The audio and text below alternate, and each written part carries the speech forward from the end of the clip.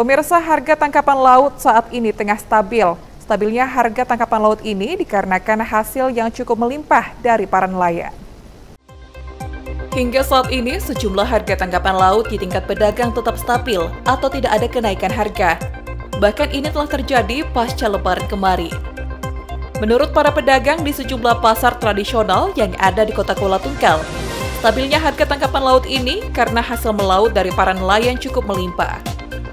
Salah satu pedagang di Pasar Tanggurajo Ilir, Mulyadi membenarkan, jika saat ini belum terjadi kenaikan harga jenis tangkapan laut di tingkat pedagang.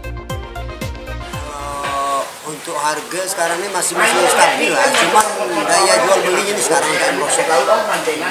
Pasaran agak dingin lah gitu. Berarti untuk berarti nelayan ini banyak bang apa banjir lah kalau pasokan di sana. Iya, kalau nelayan isinya lumayan, cuma daya pedagangnya sedikit. Agak sepi ya. Ya, agak sepi. Kalau berarti eh, tidak ada kenaikan lah bang ya harga stabil lah. Ya. Stabil, naik ada. Berarti agak sepi baik cuma itu. Agak sepi. Karena mungkin pengaruh bertahan harga pinang tidak laku kan. Nah. Pas pula bulan-bulan tua juga ini kan. Hal senada juga diungkapkan Junaidi. Meski sepi pembeli dirasakan para pedagang, namun para pedagang tetap menjajakan dagangannya di lapak yang tersedia.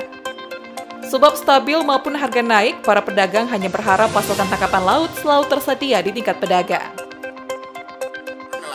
Nelayan anu lah agak berkembang lah enak lah kan Banyak Kalau- tangkapannya? iya tangkapannya penjualannya sepi betul Berarti kalau harga sendiri cenderung stabil atau apa bang? kalau tinggi itu agak stabil lah stabil Kayak lah jenis-jenis ikan apa bang? Kayak ikan bawal atau apa harga standar semua. yang jatuh wal cepat jatuh ikan bawal Berarti harga harganya berapa bang kalau jenis-jenis Kalau bawal? cuman 50 bisa- 60-an gitu ya. sepuluh ribuan delapan ribu Yang kecil ya. iya jatuh Kalau kayak jenis-jenis udang kalau udang pun sekarang agak Stabil semua. iya agak anu melesot jalan lah kalau untuk sekarang ni Tapi pada intinya karena pasokan banyak nih harga murah lah Harga murah nih. iya cuman penjualan agak Agak sepi karena murah nih. Iya, ya.